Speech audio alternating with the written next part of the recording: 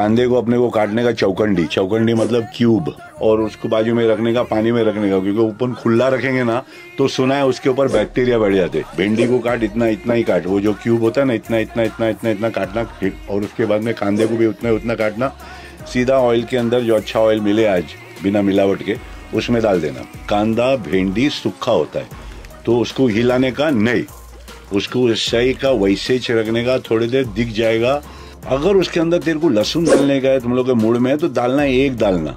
समझा बड़ो ये रखा कांदा, ये रखा उसके आजू बाजू भिंडी। और उसको हिलाया नहीं। थोड़ी देर में वो सेकेगा, सीज जाएगा, प्यार से निकाल के पोट में डाल। मस्के की तरह एकदम ऐसा हो जाएगा, उसके बाद निकाल। और फिर तेरे मूड में कैसे?